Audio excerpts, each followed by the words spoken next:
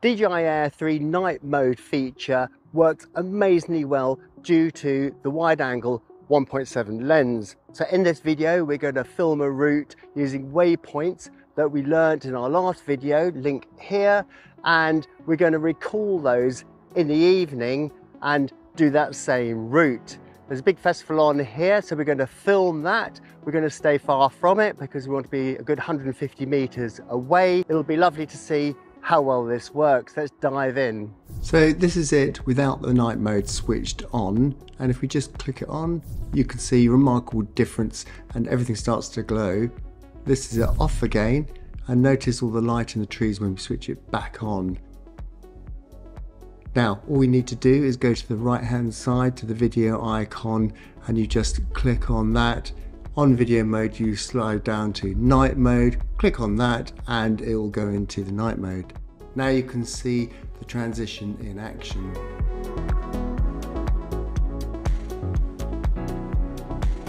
So I've just taken the drone to the max altitude, then brought it back about 10 meters just to give a nice little space. And as you can see, we've got the event there. I'm just gonna go to the squiggly lines on the left-hand side.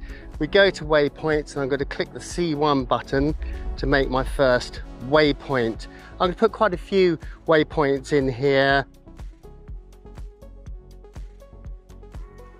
Then finally, we just hit the squiggly lines on the left and it says save and exit. It's very important so we can recall that later. Okay, here we are back on site, ready for our night mission to recall our waypoint. Go to waypoints. Go to our waypoint. Waypoint 7K. Go next, start recording start mission. And this is it in night mode on the wide angle 2.8 lens. As you can see, this is 11 and a half minute flight. So I'm just gonna crack a can of Coca-Cola and sit back and wait for it to complete its mission.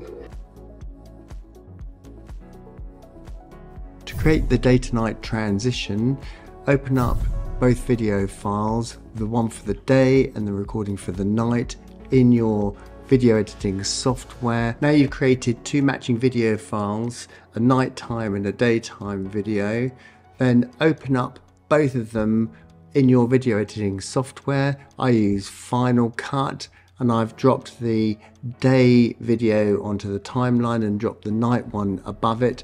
And then I just need to line them both up so they match and I can take some key points on this video and find the matching point and slide them up and down.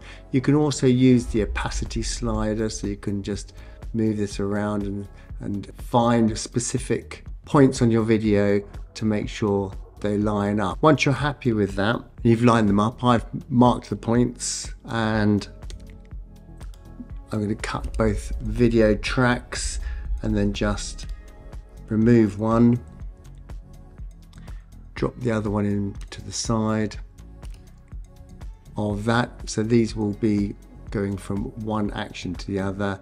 And then I'm simply going to put a transition in there and then stretch that out. And then we can just see how that plays looking good.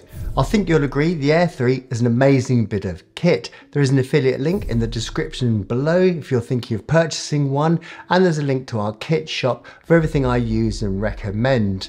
I've got another half a dozen videos being edited at the moment on the DJI Air 3 and a playlist you'll find here with all those videos as they come out. Uh, show me the love, hit the subscribe button up here and Join the conversation in the comments below and I will see you over there.